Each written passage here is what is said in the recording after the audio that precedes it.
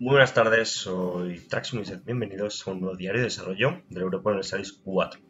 En esta ocasión seguimos cubriendo la expansión de Dharma y eh, tenemos dos grandes temas, dos grandes bloques que tratar. Son breves en realidad, pero por así decirlo, son dos partes que no tienen mucho que ver en sí. Eh, vienen de la mano de la actualización 1.26, que va a ser la llamada Mughal, eh, o Mogol en español, creo que era el Imperio Mogol y eh, de la mano de la expansión de Dharma. De hecho, la segunda característica claramente es de Dharma. Y tiene que ver algo bastante chulo, que es el tema de los mapas, de los diversos modos de, mapas que tenemos. Y es la inclusión de uno nuevo, que es relativo a las paces. Y aquí lo podemos ver, perdón, a las treguas. Y aquí lo podemos ver. Eh, efectivamente, aquí tenemos seleccionado el Imperio Otomano y podemos ver aquellos países con los que tiene tregua. Si la tregua es muy reciente, el color será de un rojo muy intenso que se irá eh, diluyendo, se irá reduciendo hasta quedar desapareciendo en este gris que indica que no hay ningún tipo de tregua. Irá reduciéndose. Por otro lado, podemos ver aquellos países en los que un, un país tiene, perdón por la redundancia, tiene una reclamación, como en este caso puede ser Albania.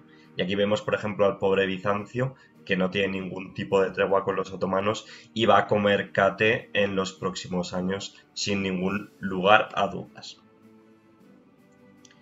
Aquí podemos ver eh, otro ejemplo en lo que llaman eh, la Prusia de la India, que es Nepal, es un país formable, y podemos ver algo similar.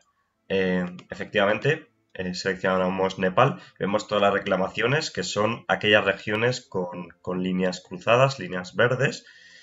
Eh, y esto será debido a algún tipo de emisión, seguramente, algún tipo de casus belli más global. Vemos que sobre Delhi, Guge, Honpur, etcétera, etcétera.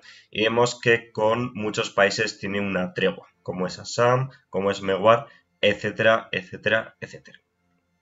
Y este sería el mapa de treguas uno nuevo que podremos añadir desde la pestaña de abajo a la derecha de, la interfaz del Europa Universalis y es el gran anuncio de, este parche.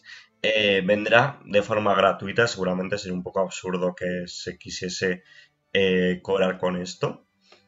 Pero bueno, y esto, la siguiente característica sí que viene de la mano de la expansión de Dharma, así que va a ser de pago, y es la función de cazar rebeldes de una forma eh, más mm, cómoda, de una forma más eh, macrogestionable, por así decirlo.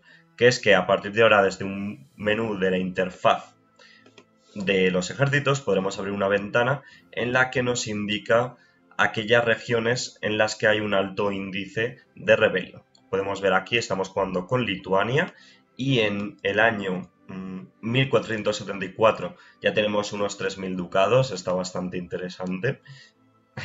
No decir que es imposible, vamos a que hay chetos seguro. Y efectivamente seleccionamos a las tropas y podemos enviarlas a eh, cubrir un área en la que pueda haber rebeliones de forma más automática, que estén pendientes de ellas en vez de tener que ir mirando aquellas regiones que hay eh, un alto índice de probabilidad de rebelión Luego ir al ejército, seleccionarlo, moverlo a esa región. Podemos hacerlo más cómodo desde esta interfaz, que desde luego es un añadido, es un quality of life, ¿no? Eh, que se agradece bastante. Y poquito más, vemos que es una característica que reemplaza la eh, función de acabar con los rebeldes, cazar rebeldes automáticamente, que existía previamente, y va a ser exclusiva para aquellos que adquieran Dharma y poquito más. Eh, bastante interesante, no hay mucho más que decir. Eh, para los seguidores de Paradox, es decir, que se ha lanzado un pequeño parche de, del Crusader Kings 2, que se llama el parche de verano, que corrige algunas cosillas. Y luego también en Humble Bundle está por 12 euros el Joy 4, si os queréis hacer con él. Quizás sea una buena oportunidad para hacerlo.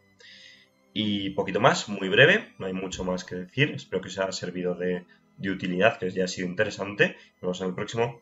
Chao, chao.